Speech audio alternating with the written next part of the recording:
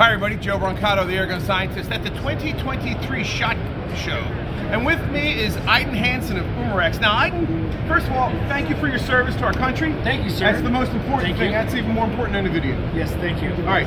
Uh, so You guys, are, you guys are, you guys are worth it. Let me tell you. Thank you. Yeah, thank It you. is, so. Thank you. Um, so, I, he's walking by. They're like, check out the new gun. So I'm, I'm going to let you just do the whole thing. Okay, so I'm gonna pull it up. First of all, I, I like to fill it with my Joe Brancato tank. So I'm just a fan of our I'm tanks. huge that's fan. all. That, that's It's gotta be the great white, A little though. plug in there, but if that's I'm okay. driving around Texas, I gotta have a huge tank to be able to fill my stuff. with. Right, so, right. Um, what we do for So here- what is this? What is this? It's the Hammer carbine. So this is the just to do a little comparison. This is the old hammer. Right. And Okay. This, this is the hammer here, so you can see kind of the distance if you move underneath it. Yeah, yeah, yeah. we, And then knocked, we knocked about nine inches off the top of it. Okay. Drops about a pound in weight. Uh-huh. We put a 34 cubic inch. right. That's a okay. Okay. Right. We got more air in the tank, so we get a four full shots out. So two two round magazines. Four full, Full shots. shots. Full okay. shots. All right. All right. Yep. And I just took a deer with it about a week and a half ago. And that's like 500 foot pounds. Uh, roughly 500 foot pounds in that area. So, Okay. So depending on what grain we use. What, what, so let me tell you, what's your favorite slug? Let's just talk about that right off the bat for So this gun. with, with the Okay. normal hammer, I shoot the 255s. The deer hunt I just did, I shot with the 320, and, and I was right on the target where I need So this is normal and that's abnormal. Well, it's just different.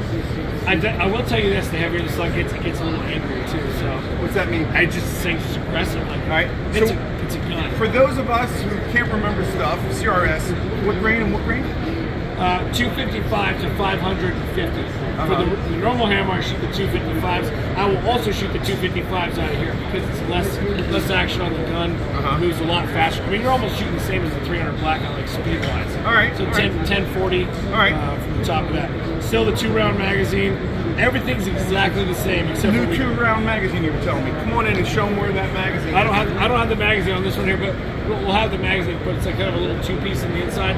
So as the air hits it and pushes the bullet through, the magazine expands like the sleeve does, kind of seals it off back here. So no more puff of air like the older hammer. Right, is. cuts it down to very minimal. Yeah, you can actually have your hand next to it. I heard. Yeah, you can put your hand up next to it, seals Okay, it off. all right. So you know, normally we just I mean, we keep it away generally like but so this right here, it still feels pretty natural.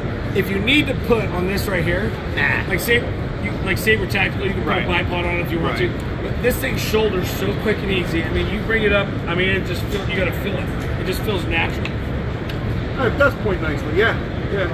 It points very nice. It's very well balanced. And it's a 300 bar 580 cc bottle. You gave it cubic inches, I think. Uh, 34 cubic. 34 inches. cubic inches is 580 cc's, 300 bar. So that's a lot of It's respectable. Yeah, yeah, that's Yeah. nice. So you changed the magazine. Yeah, we got a little bit of adjustment to the magazine there. Um, Other than new that, bottle, improved bottle. Approved bottle. Now you don't. Now you don't have a place to put. Like it doesn't have the cover of the shroud over the top, and we got a threaded, threaded top. What size is it? M18 or I mean not M18, M1. Yeah. It's the what? What size is it? Thread wise? It's not 18. 18. M18? Yeah. Oh, it is M18. Okay, I guess right. Okay, cool. All right, cool. Well, Aiden, thank you so much for showing this to us. This is Aiden Hansen of Umarex.